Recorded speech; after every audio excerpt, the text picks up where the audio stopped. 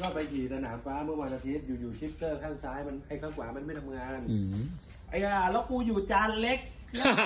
โซ่อยู่โอ้โหหลังหลังอยู่ซี่ซี่บนสุด ไม่ขี่อะไรกับเขาอะ ก็หนักหน่อย ไม่หนักมันไปไม่ได้ ก็เลยต้องปลดลงมาปลดปลดตีนอ่าหลังอะให้มันขึ้นมาอยู่เฟืองเล็กเลย แล้วขี่เล็กเฟืองเดียวเลยกูไปไหนไม่ได้เลย ผมไปวัดปีกาเมื่อวันอาทิตย์ เดี๋ยวเอ๊ะเจ็บจิตที่ไหนวะ ผมผ่านมาหลายอาทิตย์แล้วไม่เจอเพราะเห็นบอกว่าขี่ไปไปสุวรรณไปบางโพขี่บางเส้นบางโพบางปูมันประเภทแบบนานๆไปทีผมไม่ได้ไปบ่อยแต่ผมว่าพอถ้าไปสนามฟ้าผมก็สนามฟ้าที่เดียวเลยเพราะสนามฟ้านี่มีผมขี่ไปเนี่ยลองลองเช็คจบละมันเป็นที่อะไรนิดหนึ่งปรับที่ตรงนู้นหรือปรับที่ครับนี่เสือคูณเกียร์อ๋อกดตรงนี้กดขึ้น อันนี้กดลงลงมันมันจะ